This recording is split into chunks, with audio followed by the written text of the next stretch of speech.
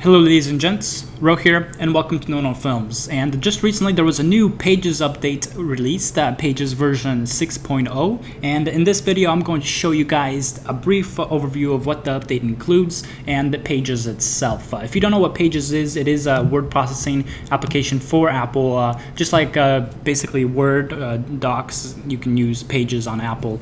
Um, it's uh, an equivalent, but it works just as well. And I personally have been enjoying it myself a lot more recently. But let's go ahead and if you're gonna go straight to your app store, this is where you will find the update.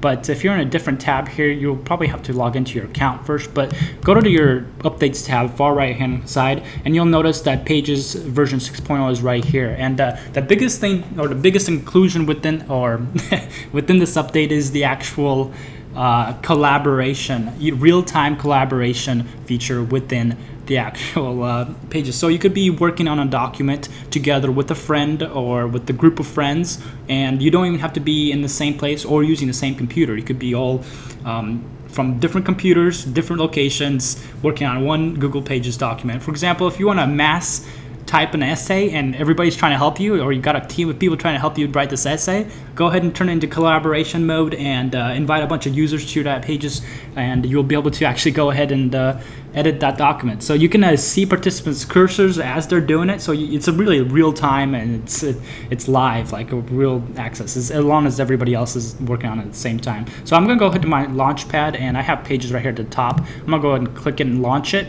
And uh, as soon as you run the actual updates, it will show you something like this, uh, what's new, collaboration beta, working on a document with others. Uh, now you can collaborate right in Pages on your Mac, iPad, iPhone, or iCloud.com, which is, that's so many different um, devices that you could do it through and resources. But here it's having me actually choose a document I want to open it with. and I'm actually just going to go File, New, and at the very top, since I'm already have Pages, and I'm going to do a blank document just double click it here.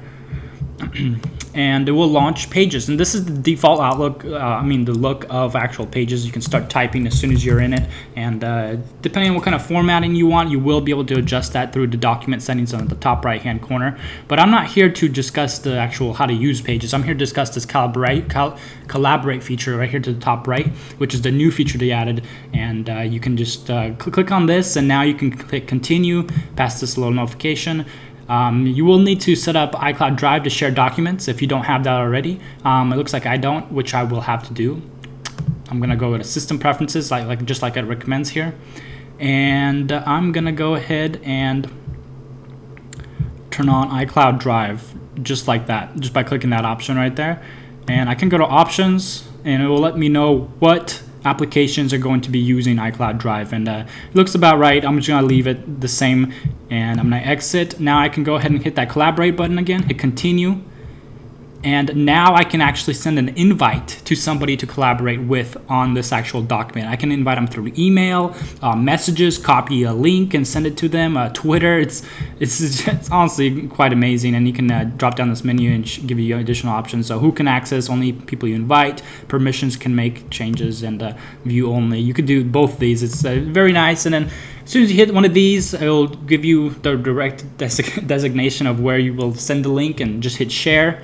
And you'll be collaborating with somebody else and working on the same document in no time. But uh, I hope you guys enjoyed this video. Hope it covered what you guys were looking for. Be sure to leave any questions in the comment section below. Or if I didn't cover something that you were looking forward to, be sure to uh, leave a comment in the comment section below and I will be sure to cover it next video. Thank you and later.